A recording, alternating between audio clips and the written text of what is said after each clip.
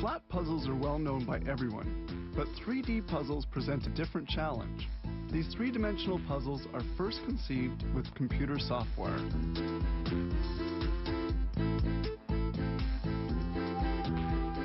Good blades are needed to cut puzzle pieces. Here are the blades for the master die, which will cut out printed sheets of different models.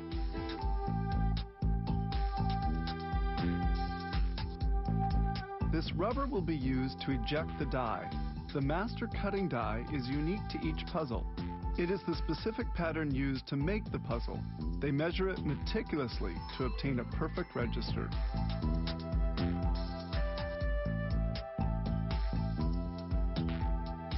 It's imperative that the die not move during the cutting, otherwise the pieces would be cut at the wrong points, so they very firmly secure it in place.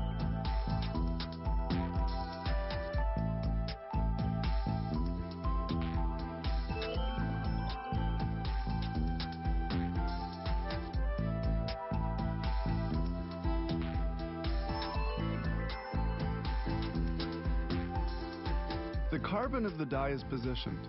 It's somewhat like printing the master. Alignment is again verified, a highly important step which assures the quality of the final product.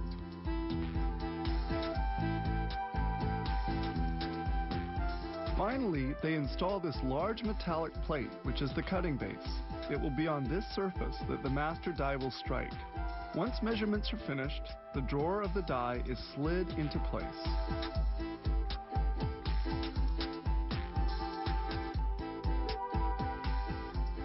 This press cuts the pattern seen on the puzzle. Here's how it works. The sheets, or printed cardboards, go into the drawer one by one, where they are cut according to the master model.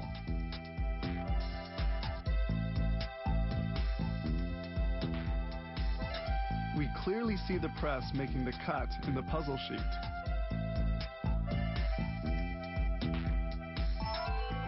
The cut sheets pile up on one another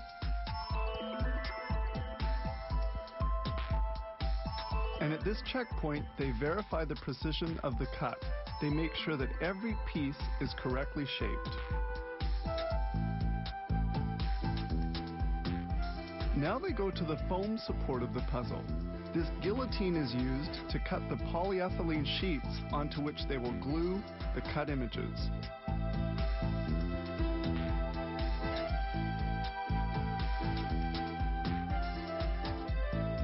Sheets are inserted into this laminator heated to 232 degrees centigrade.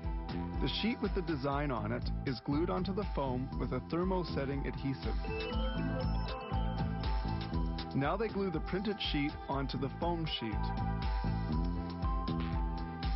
Once the adhesion is finished, the puzzles are stacked on one another and they proceed to the unbuckling operation. By pulling, they remove the surplus cuttings.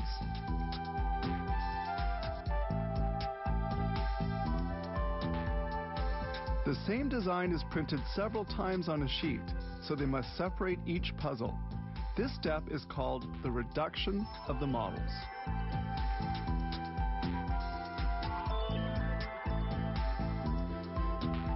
Now the pieces have to be separated. This decorticator handles this task and sends the pieces down a chute.